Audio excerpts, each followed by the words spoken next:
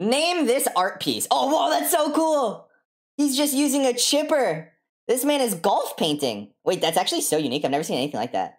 It looks kind of cool too. It looks like Not bad, not bad. Now you. space. You know what I mean? I'm gonna name this painting the Golfing Galaxy. Is that a good name? Maybe. I don't know.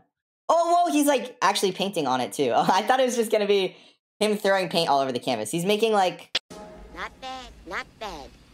Now you. I'm pretty sure that's just like a putter or something, right? Yeah, I'm gonna name this. No, no, not golf. The Chipping Galaxy. No, Golf Galaxy's better. Like the GG. Dude, that's actually sick. The Golf Galaxy. What would you guys name this one? That's really cool. Very unique.